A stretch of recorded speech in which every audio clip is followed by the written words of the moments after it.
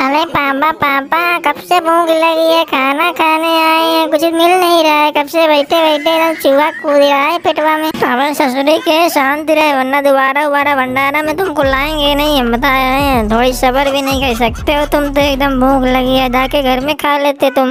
अंशु भाई, ये तुम्हारा लड़का भाई है टकलू हमको तो लगता है तुम्हारे भाई भाई होंगे। कब से लड़का बड़का पैदा कर लिया? हमको तो पता ही नहीं चला।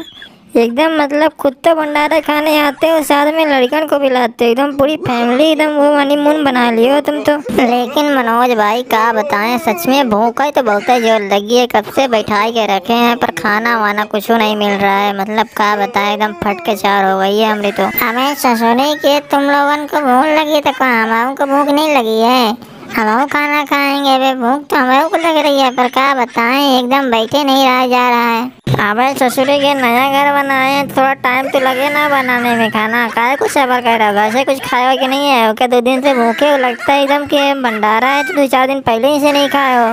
तमाशा बना के रख लीजिए एकदम लगता है मेरा पूरा खाना वाना खा जाओगे तुम लोग। शांति रखो, सबको मिलेगा। आधी घंटे मेरा। कब से बैठे हैं? तुमको समझ में नहीं आ रहा है, कुछ तो खिला दो भाई कट, विमल उमल तो खिला दो कम से कम।